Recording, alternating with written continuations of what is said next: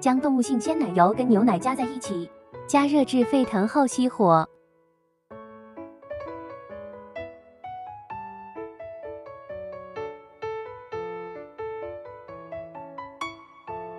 将预拌粉加入搅拌至完全均匀溶解后，再加热至沸腾熄火。